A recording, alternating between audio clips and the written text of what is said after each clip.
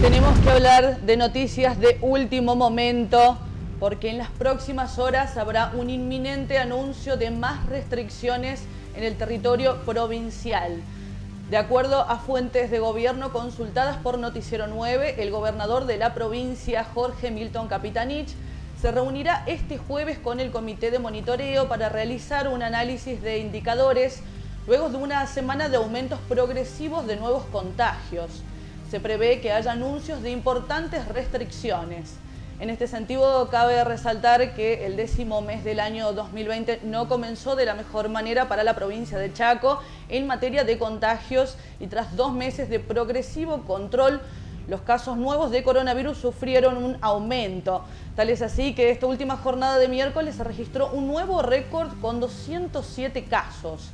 Además, Noticiero 9 pudo saber que ya hay ideas y opciones para implementar respecto a estas nuevas medidas restrictivas, pero aún resta saber si estas se van a aplicar en todo el territorio del Chaco o en aquellos municipios o departamentos con mayores indicadores de contagio. Reiteramos, en las próximas horas habrá un inminente anuncio de más restricciones en el territorio provincial tras registrarse un nuevo récord de contagios de 207 casos. Esto fue consultado a fuentes de gobierno por Noticiero 9.